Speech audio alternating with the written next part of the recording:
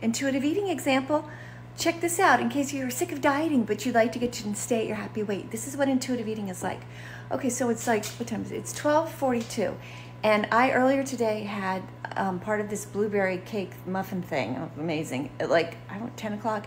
I had, I don't know. I'm going to tell you about the calorie account because then you'll know how big it was because people like me to say kind of that stuff. I'm only telling you the calorie count, not because I counted, but just so you get an idea of how much it was. It was probably 450, 500 calories. Okay. It was great. I'm, I'm kind of getting hungry. And since I know myself, I know in about an hour, I think like I'm, that's heating up coffee. Um, not that that matters, but okay, so I know I'm to be hungry in about an hour. Just because I know myself, not because I am to eat no matter what. If I not if I'm not hungry in an hour, I'm not to eat. But um, like right now, I just really wanted my some more coffee, yum yum, with you know milk. This is milk. Sometimes I do cream. I don't have any.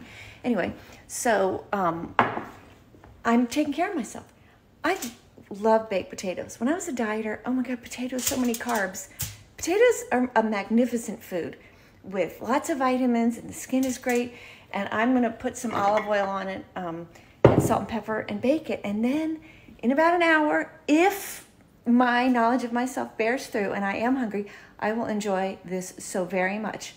And if in an hour I'm, I'm going to be upstairs working, and if the hunger isn't knocking at me pretty hard, I'll just wait. I'll just wait until it does. Because no matter what I put on this potato, nothing is better than hunger.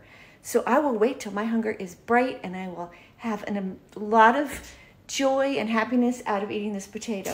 And uh, yeah, I mean, you may say, wow, that would never be enough food for me.